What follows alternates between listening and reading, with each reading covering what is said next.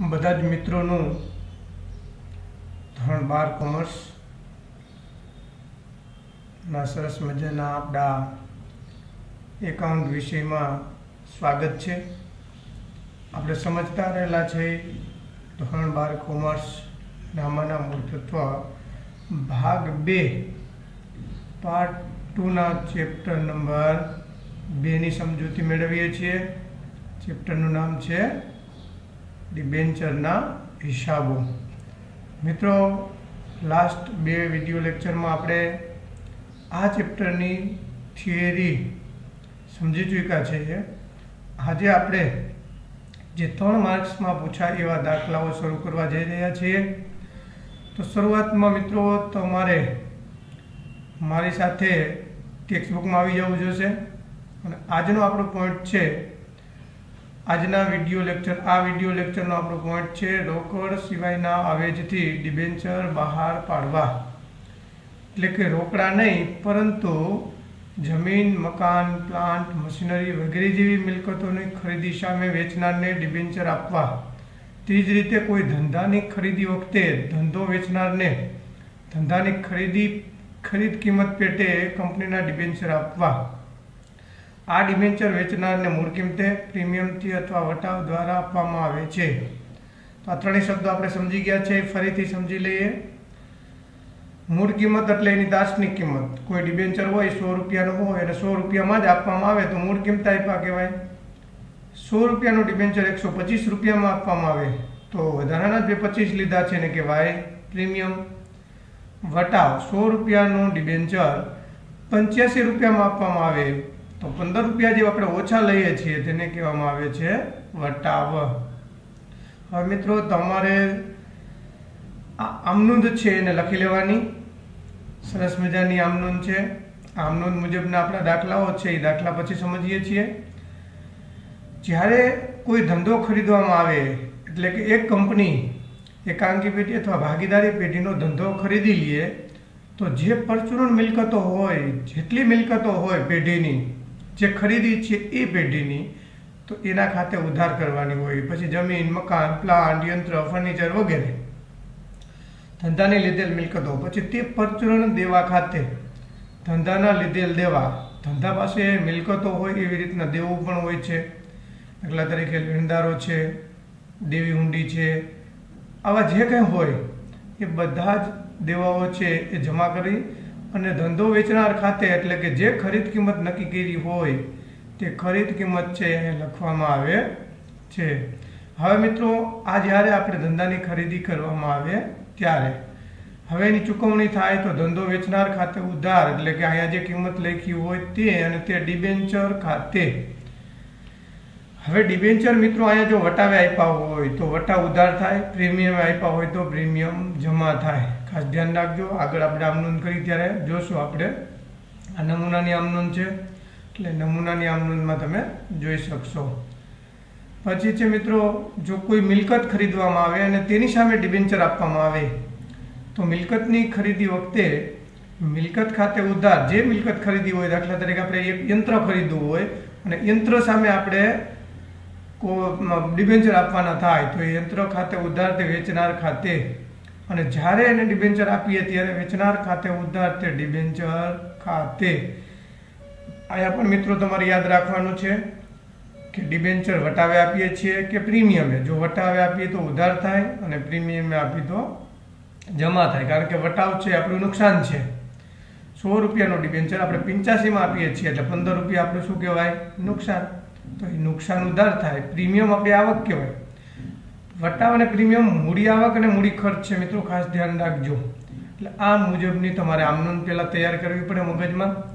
હવે આપણે જોઈએ, મિત્રો, આગળના દાખલાઓ જે તમારી ટેક્સ્ટ બુકમાં આપેલા છે, તે સ્વાધ્યાયના દાખલા નંબર અગિયાર. આપણું જે સ્વાધ્યાય છે તમારું ડિબેન્ચરના હિસાબોનું, તેમાં દાખલા નંબર અગિયાર છે, આ રીતનો છે.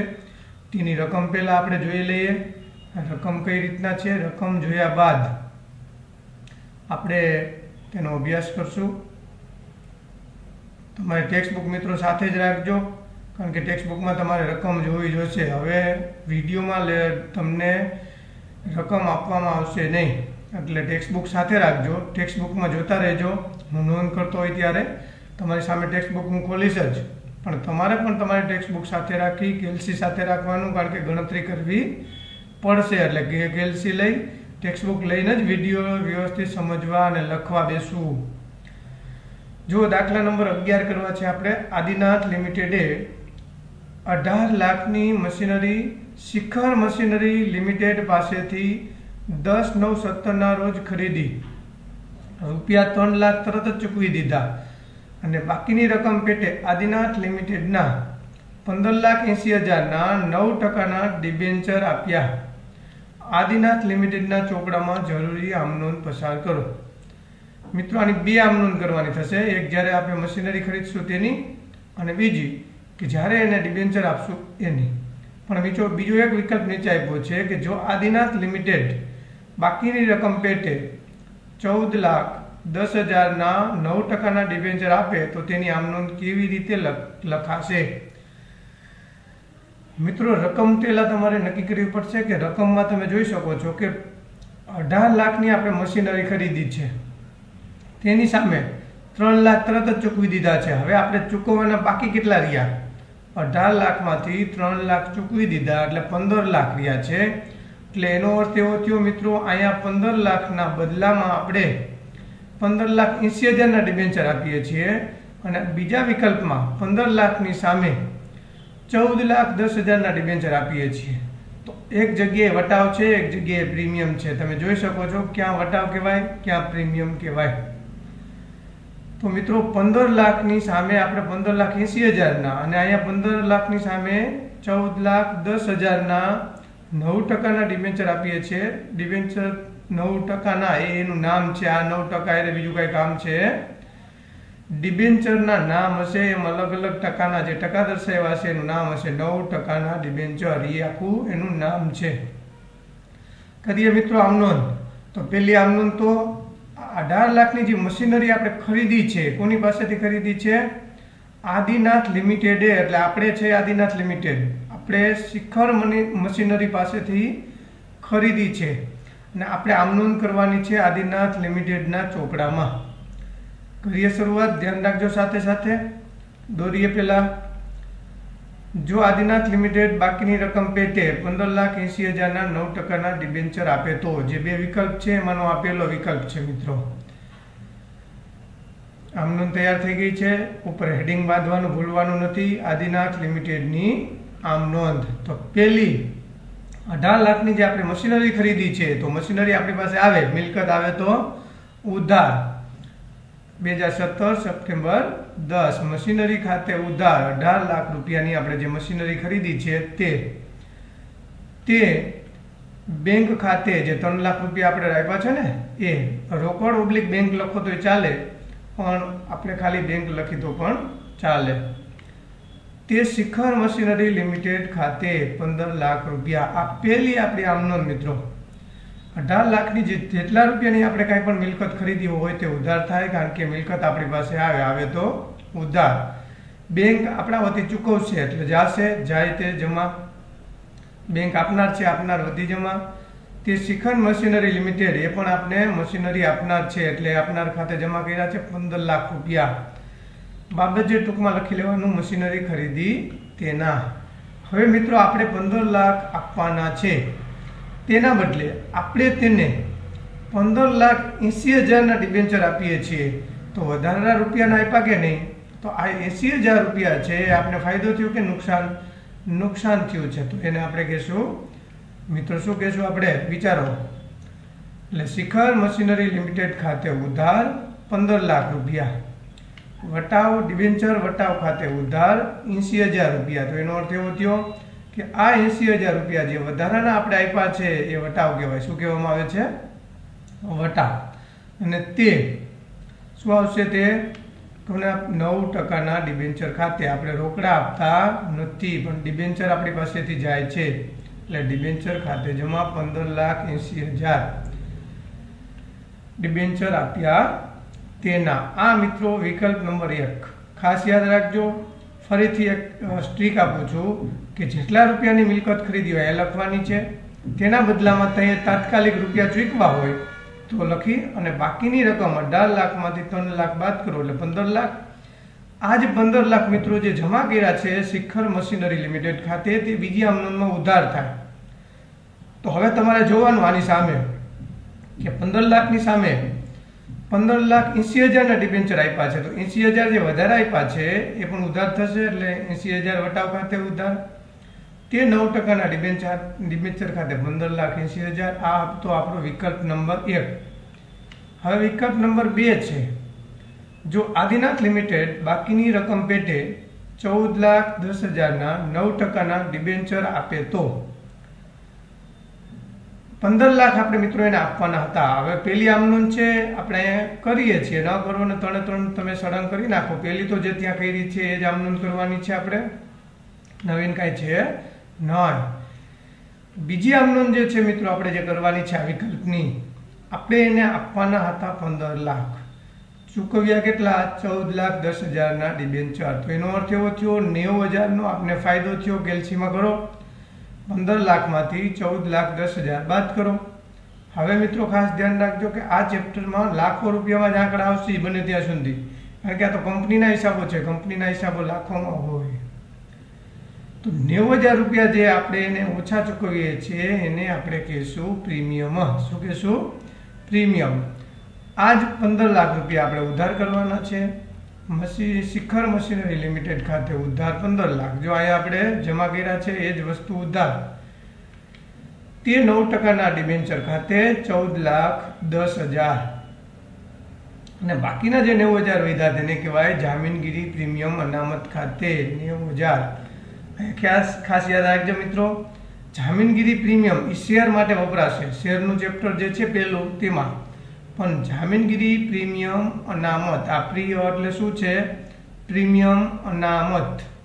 જામીનગીરી પ્રીમિયમ અનામત. જે પ્રીમિયમ છે એ ખાલી પ્રીમિયમ શબ્દ લખવાના બદલે આપણે શું લખવાનું છે? જામીનગીરી પ્રીમિયમ અનામત ખાતે નેવું હજાર રૂપિયા. એટલે જે વધારાના ટૂંકમાં આ પ્રીમિયમ છે અને પહેલા વિકલ્પમાં વટાવ હતો. એટલે મિત્રો, આ રીતના આનુષંગિક જામીનગીરી તરીકે રોકડ અવેજ સિવાય સોરી રોકડ અવેજ સિવાય જ્યારે ડિબેન્ચર આપવામાં આવે, ત્યારે તમારે ખાસ આમનું ધ્યાન રાખવાની છે. આ બધા ત્રણ માર્ક્સમાં તમને ઓછા એવા દાખલાઓ છે. હવે જોઈએ બારમો દાખલો, તેની આમનું કરવી છે, એટલે વિચારી લઈએ. વાંચો ટેક્સ્ટ બુકમાં વોલ્ટાસ ઇલેક્ટ્રિક લિમિટેડે નવરંગ ટ્રેડર્સની નીચે મુજબની મિલકતોને દેવા ખરીદી લીધા. મિત્રો, જ્યારે આખે આખો ધંધો ખરીદી લેવામાં આવે, ત્યારે તેની ગણતરી તમારે કરવી પડે, કારણ કે તેમાં પાઘડી હોઈ શકે. જોઈએ આપણે છે કે નહીં ગણતરી કરીને જોશું.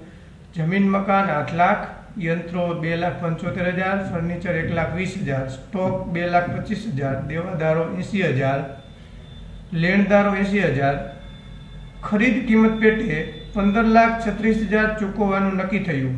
વોલ્ટાસ ઇલેક્ટ્રિક લિમિટેડે ખરીદ કિંમત પેટે રૂપિયા સોનો એક એવા અગિયાર ટકાના ડિબેન્ચર વીસ ટકા પ્રીમિયમથી આપ્યા. મિત્રો, આ રકમ અને આ રકમમાં શું ફેર છે? તો કે આ રકમમાં આખે આખો ધંધો આપણે ખરીદી લીધો છે. એની જેટલી મિલકતો હતી એ બધી ખરીદી લીધી અને લેણદાર એટલે આપણું દેવું કહેવાય એનું. નવરંગ ટ્રેડર્સનું દેવું એ પણ આપણે ખરીદી લીધું છે અને તેની સામે પંદર લાખ છત્રીસ હજાર ચૂકવવાનું નક્કી કર્યું છે. તો એ પંદર લાખ છત્રીસ હજાર જે ચૂકવીએ છીએ એ એમાં પાઘડી છે કે કેમ? પછી ડિબેન્ચર કેટલા ચૂકવાય એ પણ નથી જુઓ. ડિબેન્ચરની સંખ્યા આપણે શોધવી પડશે. આવો દાખલો જ્યારે તમને પૂછાય ત્યારે તમારે ગણતરી કરવી પડે. એટલે દાખલા નંબર બારની પહેલાં ગણતરી કરીએ. કે જેટલી મિલકતો છે, એનો પહેલાં આપણે સરવાળો કરશું. શું કરશું? સરવાળો. અને એમાંથી લેણદારો એટલે દેવું છે બાદ કરશું, એટલે આપને મળે ચોખ્ખી મિલકતો. શું મળશે? ચોખ્ખી મિલકતો. અને એ ચોખ્ખી મિલકતોની સામે આપણે કેટલી રકમ ચૂકવવાની નક્કી થઈ છે? તેના આધારે પાઘડી નક્કી થશે. એટલે તમે તમારી ટેક્સ્ટ બુક સાથે રાખજો. કારણ કે હવે આ વીડિયો આ ચેપ્ટરમાં ક્યાંય પણ તમને સ્લાઇડમાં રકમ આપવામાં આવેલી હશે નહીં, એટલે રકમ તમારે સાથે રાખવી પડશે અને ત્યાં જોતું જવું પડશે કે આ પ્રમાણે લખ્યું છે તે. તો ગણીએ દાખલા નંબર બાર. શરૂઆતમાં ગણતરી કરીએ આપણે મિત્રો. જરૂરી ગણતરી, તમારે પણ ગણતરી લખવી જરૂરી છે, ધ્યાન રાખજો. ચોખ્ખી મિલકતો એટલે જમીન, યંત્રો, ફર્નિચર, સ્ટોક, દેવાદાર આનો સરવાળો કરી, એમાંથી માઇનસ લેણદારો. તો આપને ટેક્સ્ટ બુકમાં આપ્યા છે, જમીન આપી છે આઠ લાખ, યંત્રો બે લાખ પંચોતેર હજાર ફર્નિચર એક લાખ વીસ હજાર સ્ટોક બે લાખ પચીસ હજાર, દેવાદારો એંસી હજાર, લેણદારો પણ એંસી હજાર છે. તો ચોખ્ખી મિલકતો મળી, આ બધાનો સરવાળો કરવાનો છે મિત્રો તમારા ગેલસીમાં, અને તેમાંથી એંસી હજાર, એટલે ટૂંકમાં આ એંસી એંસી ઉડી ગયા. આ એક, બે, ત્રણ ને ચાર રકમનો સરવાળો કરશો, તો ચોખ્ખી મિલકતો આપણે મળી ચૌદ લાખ ને વીસ હજાર. તેની સામે આપણે ખરીદ કિંમત નક્કી કરી છે પંદર લાખ છત્રીસ હજાર. હવે મિત્રો, આ થયું ધંધાનું મૂલ્ય. જેની મિલકતો આપણે ખરીદીએ છીએ તેનું મૂલ્ય છે નવરંગ ટ્રેડર્સનું. પણ તેની સામે આપણે વધુ રકમ ચૂકવીએ છીએ પંદર લાખ છત્રીસ હજાર ચૂકવીએ છીએ. તો વધારે જે રકમ ચૂકવીએ છીએ તેને પાઘડી કહેવાય. શું કહેવામાં આવે છે? પાઘડી બરાબર ખરીદ કિંમત માઇનસ ચોખ્ખી મિલકતો. તો ખરીદ કિંમત છે પંદર લાખ છત્રીસ હજાર, ચોખ્ખી મિલકતો છે ચૌદ લાખ વીસ હજાર. તો પાઘડીની રકમ નક્કી થઈ એક લાખ સોળ હજાર. જ્યારે આપણે આમ નોંધ કરીએ, ત્યારે આ પાઘડી મિલકત તરીકે ઉધાર કરવાની છે. આ બધી જ મિલકતોની સાથે સાથે યાદ રાખવાનું ખાસ. બરાબર છે? ચાલો, હવે આપણે શોધીએ. ડિબેન્ચરની સંખ્યા છે એ વટાવ કેટલો છે, પ્રીમિયમ કેટલું છે, અથવા એની મૂળ કિંમત કેટલી છે? આપણે ખરીદ કિંમત પેટે સોનો એક એવા અગિયાર ટકાના ડિબેન્ચર વીસ ટકા પ્રીમિયમથી આપ્યા. એટલે એક એક ડિબેન્ચરની કિંમત કેટલી નક્કી થઈ? સો રૂપિયા, એના બદલામાં વીસ રૂપિયા પ્રીમિયમ એટલે એકસો વીસ થયા. એકસો વીસ રૂપિયા એક ડિબેન્ચરનું મૂલ્ય નક્કી થયું. હવે ડિબેન્ચરની સંખ્યા શોધી લઈએ તો આપણે એને ચૂકવવાના છે પંદર લાખ છત્રીસ હજાર. પંદર લાખ છત્રીસ હજાર મિત્રો, આ એક મીંડું ભૂલાઈ ગયું છે. કરી લેજો તમે ભૂલા વગર. પંદર લાખ છત્રીસ હજાર, ભાંગા એક લાખ વીસ હજાર, બરાબર આવશે બાર લાખ ને એંસી હજાર. સુધારી દઉં મિત્રો તમને, પંદર લાખ ને છત્રીસ હજાર. ઓકે. ચાલો, આવી જઈએ મૂળ વાત ઉપર પાછા આપણે. આજે પંદર લાખ છત્રીસ હજાર, ભાંગા એક લાખ વીસ હજાર એટલે બાર હજાર આઠસો એ થઈ ડિબેન્ચરની સંખ્યા. ડિબેન્ચરની કિંમત કેટલી થઈ? મૂળ કિંમત મિત્રો, તો કે બાર લાખ એંસી હજાર. એની મૂળ કિંમત કેટલી છે? સો. તો સો ગુણ્યા કર્યા એટલે બાર લાખ એંસી હજાર રૂપિયા મૂળ કિંમત થઈ. પ્રીમિયમ કેટલું છે? વીસ રૂપિયા. એટલે ડિબેન્ચરનું પ્રીમિયમ થયું બાર લાખ એટલે સોરી બાર હજાર આઠસો. જે ડિબેન્ચરની સંખ્યા છે એ ગુણ્યા વીસ. એટલે બે લાખ છપ્પન હજાર છે ડિબેન્ચરનું પ્રીમિયમ થયું. હવે આપણે આમનોન કરતી વખતે શું ધ્યાનમાં રાખવાનું છે? તો કે પહેલી આમનૂનમાં આ બધી જ મિલકતો, પાકડી સહિત ઉધાર, લેણદારો જમા અને નવરંગ ટ્રેડર્સ જે છે એ પણ જમા થશે. કારણ કે એની મિલકત આપણે ખરીદીએ છીએ એટલે બીજીમાં નવરંગ ટ્રેડર્સ ઉધાર થશે અને આ ડિબેન્ચર છે એ જમા થશે અને જામીનગીરી પ્રીમિયમ અનામત પણ જમા થશે. બે લાખ છપ્પન હજાર. એટલે ગણતરી ખૂબ જ જરૂરી છે મિત્રો. સ્ટેપ બાય સ્ટેપ યાદ રાખજો. પેલા મિલકતો સરવાળો કરી, એમાંથી જેટલું દેવું હોય બાદ કરવાનું. એટલે એ આપણે ચોખ્ખી મિલકતો મળે. ખરીદ કિંમતમાંથી ચોખ્ખી મિલકત બાદ કરો એટલે પાઘડી મળે. શું મળે છે? પાઘડી. અને પછી તેના બદલામાં જે આપીએ છીએ આપણે રોકડ વેજ સિવાય, તેના ઉપરથી ડિબેન્ચરની સંખ્યા, ડિબેન્ચરની મૂળ કિંમત અને ડિબેન્ચરનું પ્રીમિયમ અથવા વટાવ જે હોય તે, એ આ રીતના ગણતરી કરીને આપણે નક્કી કરવું પડે હવે આપણે કરીએ આમ નોંધ. તો વોલ્ટાસ લિમિટેડની આમ નોંધ. કારણ કે તમે જોઈ શકો છો ટેક્સ્ટ બુકમાં Voltas electrics limited. Limited Navrang ટ્રેડર્સને, એટલે આનું તો આપણે ખરીદવું છે. આપણી કંપની છે વોલ્ટાસ ઇલેક્ટ્રિક લિમિટેડ. વોલ્ટાસ લિમિટેડની આપણે આમ નોંધ કરીએ છીએ. વોલ્ટાસ લિમિટેડની આમ નોંધ. હવે તારીખ આપણે નહીં આપી હોય તો એક, બે, ત્રણ, ચાર લખો તો પણ ચાલે. જમીન મકાન ખાતે ઉધાર આઠ લાખ, યંત્રો ખાતે ઉધાર બે લાખ પંચોતેર હજાર. તમારી ટેક્સ્ટ બુકમાં જોતા જજો, આ રકમ બરાબર છે ને? ફર્નિચર ખાતે ઉધાર એક લાખ વીસ હજાર. સ્ટોક ખાતે ઉધાર બે લાખ પચીસ હજાર. દેવાદારો ખાતે ઉધાર એંસી હજાર. પાઘડી ખાતે ઉધાર. મિત્રો, જો આ પાઘડી તમારી ટેક્સ્ટ બુકની રકમમાં નથી, પણ આપણે શોધી છે. કેટલી શોધી છે? એક લાખ સોળ હજાર. તે લેણદારો ખાતે એંસી હજાર. તે નવરંગ ટ્રેડર્સ ખાતે આ બધાનો સરવાળો કરી અને આમાંથી એંસી હજાર બાદ કરો એટલે એની ખરીદ કિંમત આવી જાય પંદર લાખ છત્રીસ હજાર. મિલકતોને દેવા ખરીદા તેના. હવે બીજી આમ નોંધ કરીએ. નવરંગ ટ્રેડર્સ ખાતે ઉધાર, જ્યાં પંદર લાખ છત્રીસ હજાર જે જમા કર્યા છે, હવે કરવાના ઉધાર. તે અગિયાર ટકાના ડિબેન્ચર ખાતે જો અગિયાર ટકા ડિબેન્ચર આ એનું નામ છે, નવ ટકાના હોય, આઠ ટકાના હોય, દસ ટકાના હોય, એવી જ રીતના આપણે રકમમાં આપ્યું હોય જોવાનું. રકમમાં જુઓ કેટલા ટકાના આપ્યા છે? અગિયાર ટકાના ડિબેન્ચર એટલે અગિયાર ટકા છે એ ડિબેન્ચરનું નામ છે, યાદ રાખજો. અગિયાર ટકાના ડિબેન્ચર ખાતે બાર લાખ એંસી હજાર, જે આપણે રકમમાં જોયું હતું ને, કે રકમમાં કઈ રીતના છે? તે તે જામીનગીરી પ્રીમિયમ અનામત ખાતે બે લાખ છપ્પન હજાર. આ આપણે ગણતરીમાં આ રકમો શોધી છે, યાદ છે કે નહીં? તો વાંધો નહીં. તો ગણતરી મુજબ આપણે આ નોંધ કરેલી છે મિત્રો. એટલે આ આજની રીત આપણે જે શીખ્યા છે, તે રોકડ અવેજ સિવાય ડિબેન્ચરો આપવામાં આવે ત્યારે તેની આમ નોંધ શું થાય? હવે નેક્સ્ટ વિડીયોમાં મિત્રો આપણે શીખશું આનુષંગિક જામીનગીરી તરીકે જ્યારે ડિબેન્ચર આપવામાં આવે ત્યારે નોંધ કરે તો શું થાય અને નોંધ ન કરે તો શું થાય તેની આપણે નેક્સ્ટ વિડીયોમાં માહિતી મેળવશું અને શીખશું. મિત્રો, આ ત્રણ માર્ક્સમાં નાના નાના દાખલાઓ પૂછાય એવા જ દાખલા આપણે અત્યારે ગણીએ છીએ. ઘણા વિદ્યાર્થીઓનો પ્રશ્ન થશે, આ સીધો અગિયારમો દાખલો કેમ સ્ટાર્ટ કર્યો? આગળના જે મોટા દાખલાઓ છે તે તમારી ટેક્સ્ટ બુકમાં સમજવા માટે આપેલા છે, જે તમને પરીક્ષાની દ્રષ્ટિએ પૂછાય એવા છે, નહીં, જરૂર પડશે તો આપણે જ્યારે રૂબરૂ મળશું. ત્યારે શીખશું. બાકી અત્યારે જે તમને પૂછાય છે તે અગત્યના દાખલાઓ છે, તેનો જ આપણે અભ્યાસ કરતા રહેલા છીએ. હવે નેક્સ્ટ વીડિયો મિત્રો નેક્સ્ટ પોઈન્ટ સાથે દાખલા શીખશું. ત્યાં સુધી બાય બાય